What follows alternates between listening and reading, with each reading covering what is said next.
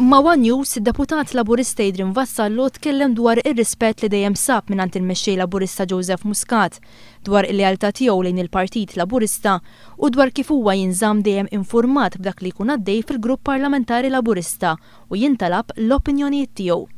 Adrian Vassallo qal li wara li deher fuq it-televiżjoni ftit tal-ġimgħat ilu huwa iltaqa' fid-dar tiegħu ma' Joseph Muscat. Żied li xhieda tal-ħbiberija li teżisti bejnu u bejn il-Mexxej Laburista hija ittra li Joseph Muscat innifsu bagħatlu. Jiena naħseb li l-ittri li bagħatli hu bil-miktub qabel il-laqgħa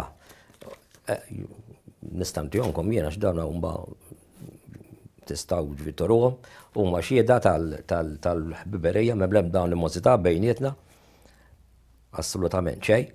Hu dejjem irrispetta l-opinjoni tiegħi.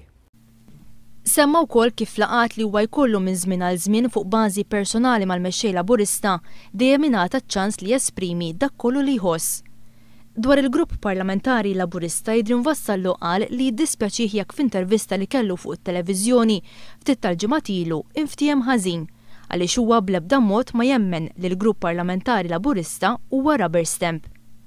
Filwaqt li qal li ma jkunx faċli għalih li jattendi għal-laqgħat tal-grupp minħabba n-natura tax-xogħol tiegħu bħala tabib, Vassallo żied li dejjem jinżamm infurmat b'dak li jkun intqal. Dejjem żammni infurmat il-Whip tal-Partit fuq l-aġenda u xi jkun intqal, jiġifieri kont nibqa' aġġornat ma' x'inhu għaddej u x'mhux. Ġieli, anzi ħafna drabi. Nintalab opinjoni mingħand il-whip tiegħi ħa jkun jista' jgħaddiha hu wkoll lil waqt il-grupp. Vassallo qal li huwa se jibqa' mija fil-mija leali lejn il-Partit Laburista, kemm illum li huwa deputat u anki meta wara l-elezzjoni ġenerali li jmiss ikun barra mix-xena politika biex ikollu aktar ħin għall-familja u għall-professjoni.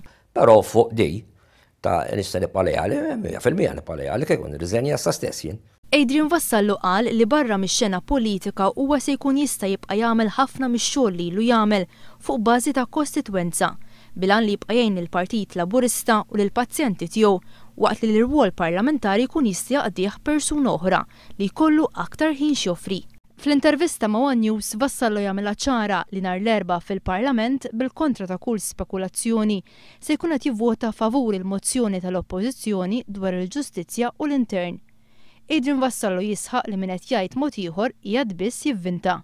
Ma' one News Vassallo qal li l-mozzjoni kienet ippreżentata f'isem il-Grupp Parlamentari Laburista kollu u huwa ma sab l-ebda oġġezzjoni sa mill-bidu.